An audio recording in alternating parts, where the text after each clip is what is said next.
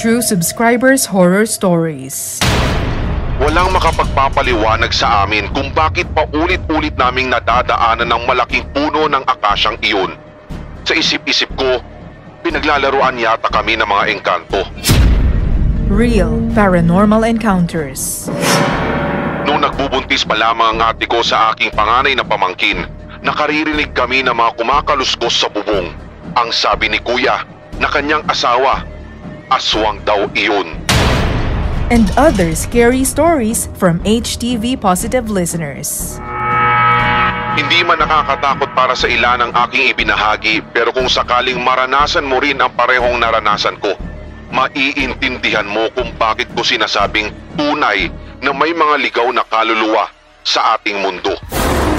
Pagkukwentuhan natin sa Subscribers Hilakbot Stories, Monday and Friday, 9pm sa Hilakbot TV YouTube channel at sa HTV Facebook page. Replays on Hilakbot Podcast every Saturday at 9pm. Ikwento mo na bago maikwento ng iba. Dito sa Subscribers Hilakbot Stories. Yo, yo, yo! Subscribers, Hilakbot Stories. Alam nyo na guys kung ano po ang tungkol dito. Tatlong kwento mula sa ating mga senders slash listeners na ipinadala sa Sindak Stories 2008 at gmail.com at ganoon din sa mga nare-receive natin sa Facebook. Tatlong kwento na kapapalooban po ng mga sumusunod kina Marie, kina Mau at kay Marty. O puno ano triple M po tayo ngayon guys. Kaya sige, sit back, relax, pakinggan natin ang kanilang mga kwento na hango sa kanilang mga tunay na karanasan at yan ang laman ng ating Monday episode ngayong gabing ito. Kung late ka, sabi ko sa inyo mamaya kayo po magbubunot ng damo sa labas. Ito ang subscribers. Hilakbot Stories. Stories. Stories. Stories. Unahin po natin ang kwento dito na mula sa ating uh, email, sindakstories2008 at gmail.com at ito po ay mula kay Marie. Andito po ako ngayon sa Red sa HK at nagtatrabaho bilang isang security guard at night shift po. Ibabahagi ko lamang po itong hindi ko malilimutang karanasan na may halong kababalaghan. Matagal ko na rin po sana itong gustong i-share pero ngayon, nagkaroon na po ako ng lakas ng loob. Bago lang po ako sa ganitong trabaho na panggabi. Nakasanayan ko naman po talaga ang kasi ang umagang shift at sa industry na ito, bago lang din po ako kaya hindi ko po masyadong gamay o kabisado ang mga taong nakakasalamuha ko. Sa office po na lagi ko pong uh, pinagduduti, pinagdudut, duduti. Dut dut. Ewan ko sa'yo. Umpisa umpisa. Ede, recorded live to guys sa, ano, sa ating uh, SHS. Lagi pong ganito guys ha. So please, uh, parang awan nyo na. Unawain nyo naman ako. Minsan talaga may ganon. Pinagdudutihan. Ayan. O kaya pinagtatrabahuhan na lang kasi. Pwede naman yun, di ba? Pwede naman yun eh. oh, may, Grace, are you crazy? Okay, so erase, erase, erase. Kunwari wala kayo narinig pero ito nga yung totoo guys. Sa aking pinagtatrabahuhang office, konting description lamang po. Meron po doon na transparent na glass. So, technically, yung mga tao sa labas ay makikita mo sa loob and vice versa. Nasa duty po ako noon nang inabot po ako ng antok kahit nga po inom pa ako ng inom ng kape para hindi antukin, ay parang wala po talagang effect. Antok talaga ako nung time na iyon at talagang alam mo yun kusa po talagang pumipikit ang mga mata ko kahit pinipigilan ko. Hanggang sana pagdesisyonan ko po na sige maidlip ako ng konting sandali lamang habang nakaupo pero ang nasa isip ko pa rin eh baka mamaya o baka mamaya ay may makahuli sa akin o kaya meron pong tao na kumakatok sa transparent na glass, hindi ko mamamalayan at hindi ako agad makakatayo. Noong time po Sir Red na ibinuk ako yung aki o minulat ko ang aking mga mata. That's the right term. It's minulat ang aking mga mata. Napansin ko po na may tao sa labas. Nakasilip po siya sa akin doon sa gawin ng parang wall. At pa, alam mo yung parang sistema daw po ng mga nambuboso. Yung parang ganon.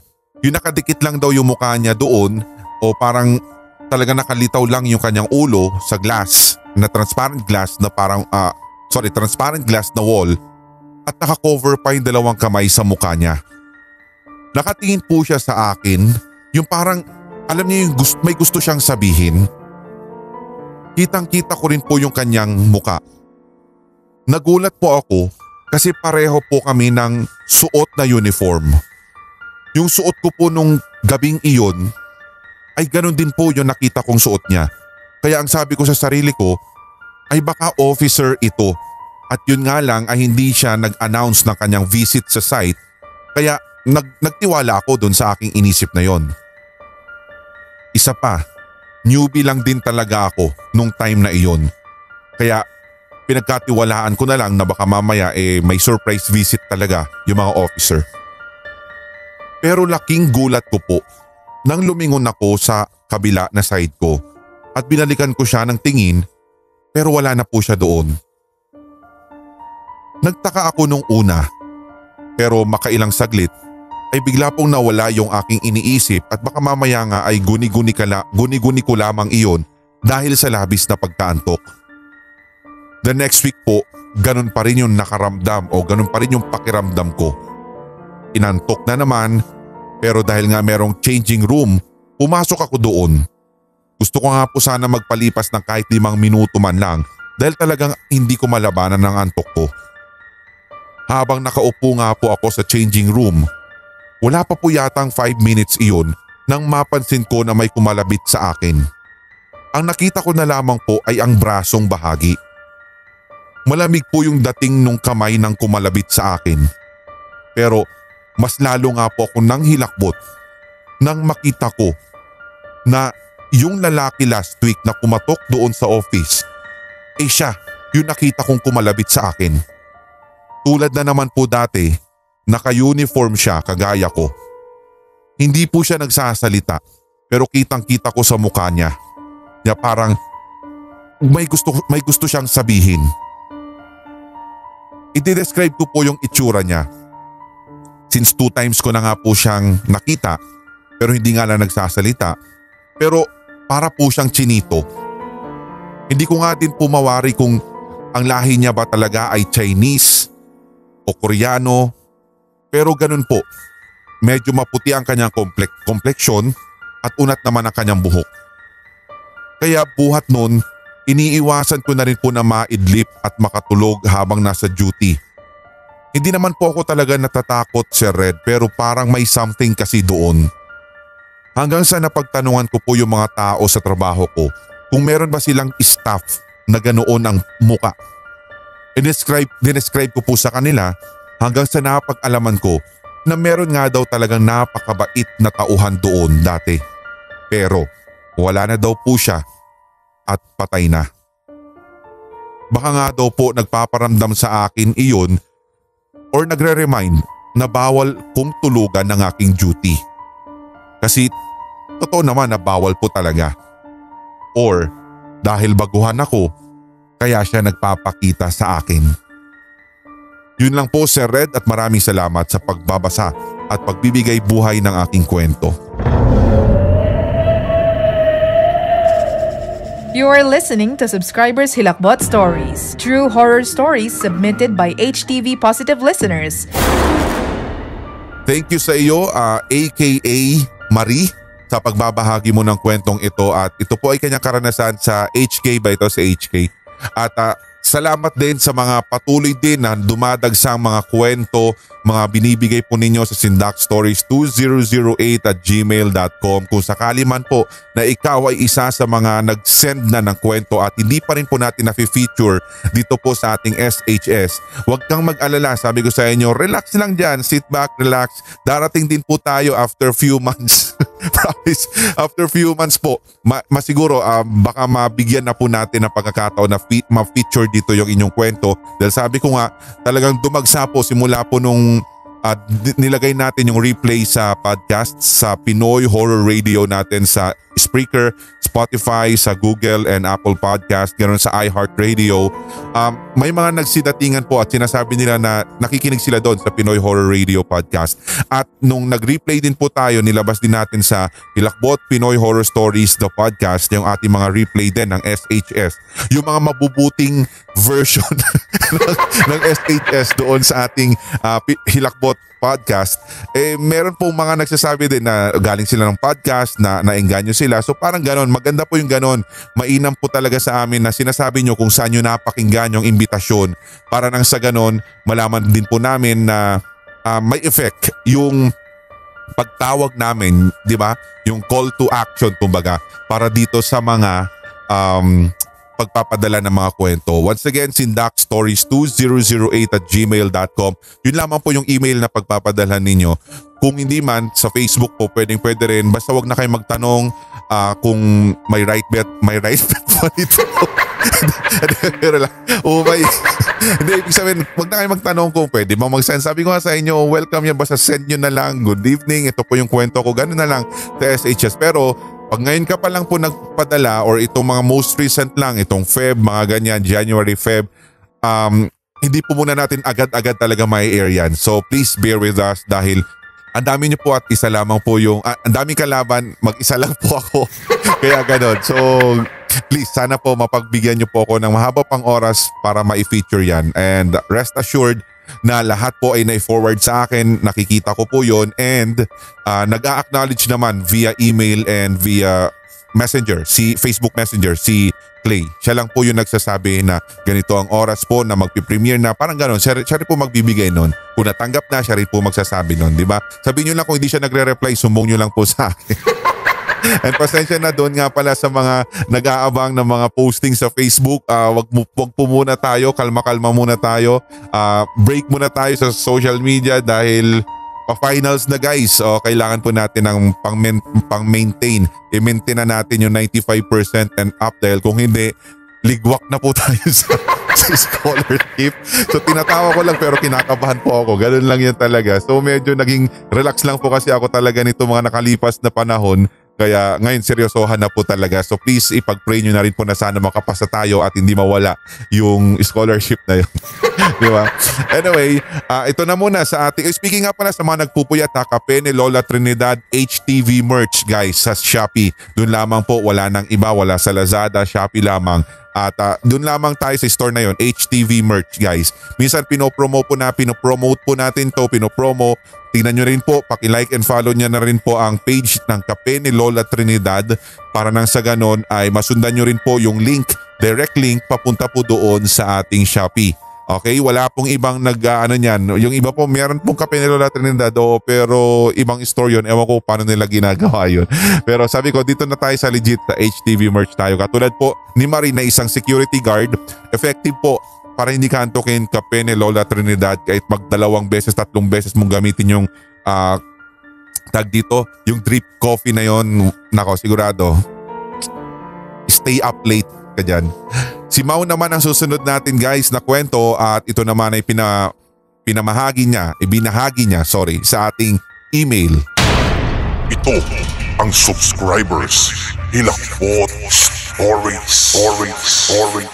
Silent listener po ako since 2019 at una ko nga po talaga kayo napakinggan sa Spotify sa Red. Tapos na-encourage na rin ako o na-encourage ko rin po yung mga office mate ko na makinig na din. Maraming salamat may mga nabubudol ka na mga office mate. okay.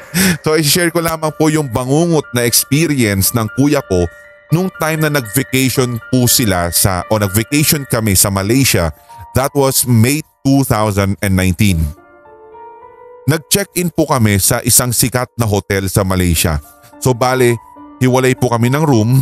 Sila kuya ay nasa dulo ng pasilyo. Kami naman po ay nasa kabilang side. Supposed to be po, hindi po iyon yung room nila kuya. Pero in-upgrade po yung hotel nila. So masaya naman po sila kuya since ang ganda talaga ng room dahil tanaw na tanaw mo yung Petronas Tower sa window nila. After po ng city tour at konting swimming, nag-decide na po kami na magpahinga. 10pm na rin po kasi yun. Around 2am, dito nga't may kumakatok po sa door namin. So nagising po kaming lahat at sina kuya pala iyon. Pero kala ko may sasabihin pero takot na takot sila. Sinabi lang nila na binangungot daw si kuya. Then hindi na po muna kami nagtanong ng ibang detalye kaya nag-decide po kami na bumalik sa pagtulog. The next morning po, while we are having breakfast, nagkwento po si kuya. Habang nakahiga na po sila kuya at ready for bed, narinig daw nila na parang may nakabukas o bumukas ng faucet sa CR. So yung hipag ko po ay chinek po iyon pero hindi naman daw pala nakabukas. So dahil doon ay dinedma niya and then after a while, narinig na naman nila at pagkatapos nilang i-check ulit, hindi na naman daw nakabukas yung faucet. Kaya tulad kanina, dinedma na naman niya at natulog na sila. Pero ito po yung pinakalaman. Hindi pa pala yun. Akala ko yun ay laman ng bangungot ni kuya mo. Anyway, ito na po talaga guys yung ano sabi niya yung laman ng bangungot ni kuya niya. Ayon sa kanya, may bata siyang nakita sa kanyang paanan. Oh my goodness, naalala ko na naman. At pilit siyang hinahawakan sa paa pero hindi siya makagalaw. O pilit siyang hinahawakan sa paa para hindi siya makagalaw. Tapos bigla daw pong dumilim ang paligid tapos nasa kusina na po ng hotel room yung setting. Andun daw po yung parents namin tapos nag-uusap-usap sila. Andun din daw po yung mga bata o andun din daw po yung batang nakita niya. After noon, bigla na naman daw pong dumilim tapos the next thing ay nasa room na naman daw po sila na sobrang dilim. Tapos kasama daw po niya yung bata pero unti-unti po niya nakikita na namumula na ito hanggang sa naging demonyo ang itsura. Pinipilit daw po na gumising ni kuya and he keeps on praying pero hindi daw po talaga siya magising. Tapos sa loob ng room, may isang painting pero hindi daw po masyadong klaro kung ano yun. May sinasabi yung bata tungkol sa painting pero hindi daw niya maintindihan. Sorry guys, medyo kinikilabutan ako dito sa kwento. Anyway, uh, hanggang sa ginigising na daw po siya nung hipag ko kasi malakas yung ungol ni kuya. And then, fortunately, nagising po si kuya. After po noon, nagmamadali na silang lumabas ng room at pumunta na nga po sa room namin. Yun po kasing sweet nila kuya ay dalawa yung room pero yung isang room ay nakalak. Kaya po nako-curious din po kami kung bakit nakalak yun at kung ano ang meron sa likod ng pinto nun. And lastly, si kuya ko po kasi ay may third eye at active po ito. Kaya iyon po yung tinuturo namin kung bakit na-experience niya iyon. Sobrang nakakakilabot daw po talaga yung bangungot niya, Sir Red. Yun lang po at maraming salamat sa pagbabahagi ng kwentong ito. Ako po si Mau at hanggang sa susunod po na SHS. parang nagpaalam, parang nag-extra na siya guys. parang dapat script ko pa yun sa bandang dulo eh. Extra ko yun eh. dapat sana hindi. Sana sinabi mo na lang Mau. Ako po si Mau. Hanggang sa susunod na SHS, tuloy-tuloy lamang ang hawaan para wala ng galingan para lahat tayo ay solid, HTV, positive. May mga kwentong kababalaghan o mga karanasan kang kahilahilakbot na nagmumulto sa iyong memorya? Hindi, pero syempre, joke lang yon. bigla nag bigla nag bigla na nag-closing billboard, bigla nag CBB. oh my, are you crazy? anyway, maraming salamat dito guys. Sabi nga natin ano, wala talagang pinipiling lugar ang mga kababalaghan guys. Kahit tingnan mo ha, nasa Malaysia na sila niyan ha. At sabi ko nga sa inyo, pero buti na lang talaga si kuya mo nagising. 'di ba? At saka kung bakit po medyo kinilabutan din ako dito kasi parang may attachment siya dun sa aking kwento dati na parang yun nga sabi ko yung binangungot ako pero ang nangyari naman matandang babae na nakabelo ng itim pero hinawakan din niya ako sa paa. Basta hinawakan lang talaga niya yung paa ko tapos hindi na ako nakagalaw matapos nun. So parang ganun kaya parang nakarelate ako ng gusto dito sa nangyari. At saka speaking, may bangungot horror stories po tayo. Hindi ko po alam kung naipalabas na po ito ngayon. Ngayong linggo ipapalabas pa lang ngayong linggo. Ipinalabas na last week. Or ipapalabas pa lang. Abangan nyo na lamang guys. Kasi uh, minsan po ano na eh, tag dito, uh, biglaan na lang po nag-a-anunsyo yung ating admin since mag-isa lamang po siya ngayon. Ganun din po yung editor natin. Si uh, parang RJ lamang po yung editor na uh, present ngayon kaya medyo madidelay pa po yung iba pa nating mga mini-series at yung sinasabi natin na series mula po kay Draven Black. So abangan nyo na lamang po yan guys para nang sa ganon. Pati yung announcement sa page doon lang po tayo nag-aanunsyo para malaman po ninyo kung kailan nyo palabas niyan. And speaking maraming salamat doon pala sa sumubaybay nito nakalipas nating kwento sa Red Diaries Tagalog Love Stories. It's Draven Black uh, story uh, mula po yon sa ating uh, isa sa mga nirequest din sa kanya na exclusive for Red Diaries. At ito nga yung pinamagatang Tears of the Heart. At sana po kinilig din kayo doon sa kwentong iyon ni sino ba si Caitlyn. At doon din po sa teaser medyo may mga natanggap na rin tayo magandang feedback. At sabi nga nila galing daw yung kumanta pero sabi ko guys yung kumanta po noon yung yung nilagay doon ni ano ni parang RJ hindi po siya yon si Jairi Lim po yon Uh, kung matatanda si Jerry Lim yung kumanta ng buko, di ba, magkabilang mundo. So yun po, uh, actually, gusto namin siya sanang kunin para kumanta talaga doon sa isang portion. Kaya lang, ang uh, request, uh, sinuggest na lang po niya na yung isang cover na lang niya, yung Healing by Silent Sanctuary. Yun na lang po yung ilagay na parang tinape niya po ito 5 years ago. Ayaw niyang, ayaw niyang kumanta, may TF daw. Totoo, real talk po yun, ITF. Tsaka ayaw din ng management. So, sige, kaya gano'n na lang daw yung sinuggest niya. Maganda sana, no, mayaya natin minsan to si Jairi Lim para maka ano. Alam mo naman syempre kilalang kilala ng mga producer natin yan. Kilala din po natin para, di ba? Sayang kasi. Anyway, soon, abangan nyo na lang po sa Red Diaries Tagalog Love Stories. Okay? Anyway, Uh, lipat naman tayo sa susunod na kwento. Panghuling kwento na po ito kung ngayon ka pa lamang po dumating, uh, nakadalawa na po tayo at ito na po yung pinakahuli.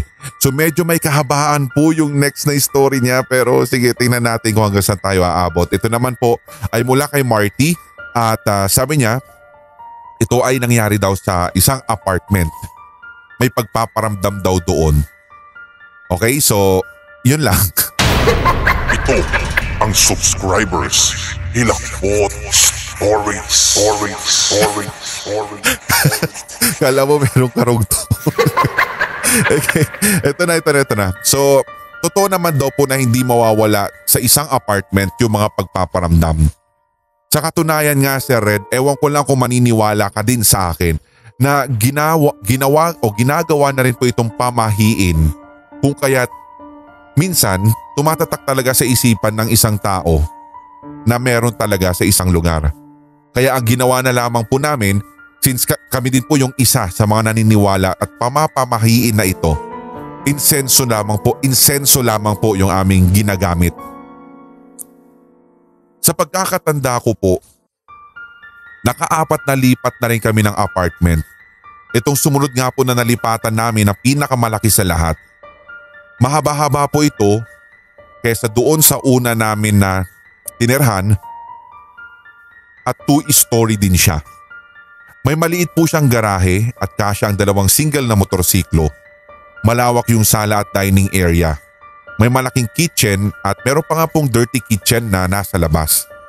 May isang CR pero sa kasamaang palad nasa baba po siya. So pag akyat ng second floor, meron pong malaking bulwagan at nag-iisang malaking kwarto. This time Sir Red may kasama na kami sa bahay at ito po yung pinsan kong lalaki. Tigahatid at sundo ko, ah, sorry, tigahatid at sundo ko po ito sa school. Tsaka para may kasama na din po kami sa bahay. Doon po siya natutulog sa labas ng kwarto sa may bulwagan sapagkat kasya naman po doon talaga. Lalong lalo na ang isang double size bed. Tapos isang single size bed sa bulwagan. Tapos may space pa nga kung tutusin cut the story short, nangyari po ito after ng school. School ko. Habang kumakain kami ng hapunan, bigla po nagkwento yung mama ko na madalas daw bumubukas sara ang pinto sa taas. Tapos one time, nang inakyat daw niya ito, nagtaka siya dahil tulog naman daw pala ako. Pero naririnig daw niya na bumubukas ng malakas yung pinto at sinasara niya na. Di na daw niya sinabi sa akin kasi baka daw matakot ako. Simula noon sa sala na ako natutulog at nanonood. Naisip ko nga nung time na iyon Sir Red, sana isinabi na lang ni mama sa akin. Ang pinaka nakakatakot po na part sa amin ay ito. Birthday po yun ng kapatid ko at madaming tao noon sa bahay at pati tropa na, sorry, pati tropa ng pinsan ko ay naroroon. Since anti-social talaga ako at mahiyain, nasa kwarto lang po ako at nanonood. Sa katunayan medyo naka-move on na rin ako sa unang kwento ni mama patungkol, patungkol dun sa automatic na nagbubukas sara yung aking bintana. Nang makaramdam na rin, sorry, nang makaramdam na ako ng takot, yung feeling na may kasama ka at mukhang hindi ka nag-iisa, ay napagdesisyonan ko po na bumaba na lamang at nakinuod na lang kasama si mama ko sa sala. Tuloy-tuloy pa rin po yung kasiyahan ng mga sandaling iyon at sa katunayan, andun pa rin po yung pinsan ko at yung, iban, yung iba pa niya mga bisita sa dining area. Mga 10pm na nga noon nang makauwi na yung ibang tropa ng pinsan ko at isa na lang ang natira. Yung kapatid ko ay nasa garahe kasama yung kaibigan niya habang si mama at ako naman ay nasa sala nanonood ng TV. Bandang 11.30 po yun ang gabi nang matapos na talaga totally yung inuman ng pinsan ko at tropa niya kaya nagpaalam na itong umuwi. 12 midnight naman nang umuwi yung kaibigan ng kapatid ko at may dalawa lang na natira kasi lasing na lasing na yung isa at yung isa naman ay masyadong malayo din daw yung uuwian at wala na siyang masasakyan. Kaya sa sala na namin sila pinatulog at naglatag na lang kami doon. Patulog na kami nang biglang magkwento yung pinsan ko. Yung tropa daw niya, tinanong daw siya nung palabas na sila ng bahay. Tinanong nga siya kung sino yung babaeng nakaupo kanina sa hagdan namin. Yung sumunod daw sa akin pagbaba. Ang sama daw ng tingin nun tapos nakabestida daw. Bigla daw umakyat ng tas bigla daw itong umakyat nang bumalik na yung pinsan ko at pagkatapos kumuha ng, ng tubig sa kusina. Tinanong siya ng tropa niya kung pinsan niya din ba yun kasi mukhang naingayan daw dahil parang alam mo yung bagong gising at namumula pa yung mga mata. Magulo nga din daw yung buhok na parang kababangon lang. Sumagot daw yung pinsan ko at ang sabi niya, dalawa lang ang pinsan niya. Ayaw daw namang maniwala ng tropa niya dito. Sabi ko sa mama ko, kaya pala pagbaba ko nung time na iyon, Nakatingin siya sa hagdan. Ang iingay kasi ng tropa talaga ng pinsan ko at saka feeling ko nakita din siguro ng tropa niya yung biglang pagsasara ng pinto sa taas. Dahil doon, ilang araw kaming natutulog sa sala. Natakot na rin po kasi si mama. Kaya kayo, mag-ingat-ingat din kayo lalo na sa pag-iingay sa bahay ng may bahay baka mamaya ay may naiistorbo kayo na hindi nyo rin nakikita. You are listening to Subscribers Hilakbot Stories, true horror stories submitted by HTV Positive listeners. Ito namang si Marty, nanakot pa. nanakot pa eh. Alam mo yung naharap pa niyang manakot sa halip na mag-goodbye na lang sa Maraming salamat. Pero totoo yun guys. Sabi nga nila, uh, magbigay tayo ng courtesy lalong lalo na sa mga, kung hindi man dun sa mga nakatira, pati rin sa mga kasama nung mga yun na hindi natin nakikita. Let's say for example, dito sa bahay, Uh, nung una nga namin, nung unang lumipat nga kami dito, walang iba, sabi ko sa inyo, nung unang kwento ko kung natatandaan niyo sa SHS sa previous episode from last year, um, may nabanggit ako tungkol sa parang biglang mainit na Hangin na parang sumalubong sa iyo galing sa taas ng hagdan. Di ba? Galing sa taas at sa hagdan ka sinalubong. No, parang niyakap ka na parang hindi mo alam kung welcome or ano. Kasi dumating na lang kami dito parang alam mo yung itsura ng dingding na bakbak na alam mo yon tapos talagang kami na lang po nag alam mo kami na lang nagpintura kami na lang nag-ayos talaga kasi ganoon naman talaga eh kailangan mong ayusin uh, ayoko na masyadong idig yung tungkol sa history ng bahay na to pero naniniwala ako na may una na talagang tumira dito na hindi natin alam kung ano din. Mali mo kasi alam mo kapag ganun umiikot din yung, yung imagination ko sa ganun kapag may nababasa ko mga ganito. Pero so far kapag pumupunta naman po dito sila parang RJ yung mga ibang mga editor kapag pinapapunta natin sila Kuya Choi ganyan. Wala naman silang sinasabi tungkol dyan sa kung meron bang mga multo-multo or may nararamdaman silang kakaiba. Dahil una sa lahat wala naman silang third eye. Yun po talaga. kung, kung meron man, baka kung meron nararamdaman niya mga baka third eye, third eyean lang yan. Alam mo yung seryosong seryoso kang pakikinig tapos yun pala lang, ang ending ko lang naman pala, hindi, hindi naman sila nakakakita, wala kasi silang third eye. Okay. Maraming salamat po sa mga nagpadala na naman ng kanilang mga kwento at nagtyaga sa pakikinig dito po sa ating uh, mga kwentuhan mula po sa ating mga senders. Siyempre, mga sinabmit sa sindakstories2008 at gmail.com at sa Facebook po natin. Sa Team Podcast, maraming salamat sa pagkapit sa matigas. At ganoon na rin, uh, ang ganda no, Team Podcast, pagkapit sa matigas. Maraming salamat. Paghimas din ang madulas sa Team Facebook, hindi nag-rhyme. At din, dito, syempre dito sa YT, sabi ko nga sana po ano, uh, wag naman kayo magsawa. Sana samahan niyo pa rin kami hanggang sa pinaka-last na episode ng uh, ah, SHS o pinakadulong episode na ng mga uh, stories natin, di ba? Bago mahuli ang lahat, alam mo. Pero kahit magkaganon pa man guys, maraming salamat sa mga patuloy na solid talaga at hindi kami iniwan since day one at yung mga sumusuporta din sa Ilakbot 24-7 at sa ating dalawang podcast, Pinoy Horror Radio at yung Hilakbot Pinoy Horror Stories the podcast. Once again, maraming salamat po. Ang replay po natin sa HTV podcast ng SHS ay every Wednesday 9pm po doon. At ang ating mga regular episodes po doon na mga minsan ay mga nag-over the backod na mga previous episodes natin dito ay Saturday naman 9pm. And sa PHS o sa I mean PHR, Pinoy Horror Radio, ang uh, schedule naman natin doon ng SHS ay Saturday 9pm and Wednesday naman nata kapag mga regular yung parang one hour na non-stop katatakutan na stories. Yun po, Wednesday 9pm din doon sa Pinoy Horror Radio. I-like, follow nyo na rin po para at least may, may notification. Hindi kayo mawawala kapag may mga bagong upload. Okay? Maraming salamat sa mga nagpo-purchase pa rin po ng ating HTV merch lalo na yung pinakahuli na pumakyaw po ng ating t-shirts Siyempre, nasa stock. So meron pa rin pong stocks yung ating face mask at yung kape ni Lola Trinidad. Ang dami pa po dyan. So pakicheck nyo na lamang. I-follow nyo rin po yung store natin HTV merch para uh, makita nyo rin kung ano yung mga, may mga bagong design ba, bagong flavor nung uh, kape ni Lola Trinidad. Maraming salamat sa mga uh, solid na natin, regular na po natin na nagiging uh, customer at mga nagre-repeat order dyan sa ating HTV merch. At sa lahat din po ng mga team members o kaya sa ating mga channel members maraming salamat po lalong lalo na sa mga patuloy na nagre-rejoin, mga solid at hindi po nangiiwan maraming salamat po sa inyo. At sa mga silent listeners din natin, hindi ko rin po maiisa-isa pero kilala nyo na po ang inyong mga sarili. Sana nakakaabot kayo sa pinakadulo ng SHS para ma malaman ninyo na kahit hindi ko man banggitin isa-isa ang inyong mga pangalan ay alam ninyo na kayo yung binabanggit ko sa pagpapasalamat na ito, di ba? Thank you po at may konting review-reviewhan muna tayo tapos po nito at siningit lamang po natin ng ating recording so maraming salamat.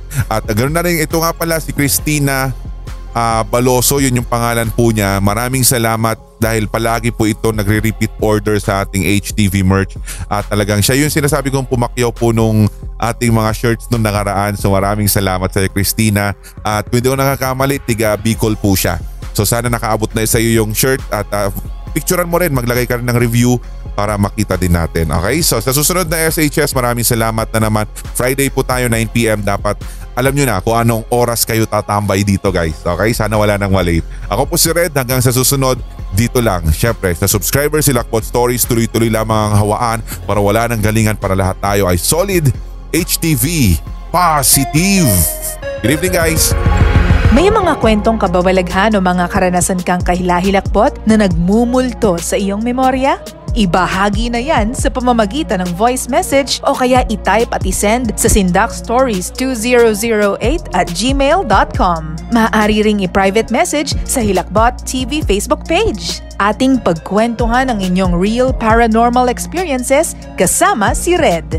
Sabayang mapapakinggan sa Hilakbot TV YouTube channel at HTV Facebook page. Lunes at Biyernes, alas 9 ng gabi. Subaybayan din ang replay sa Hilakbot Podcast every Saturday at 9pm. Ito ang Subscribers Hilakbot Stories.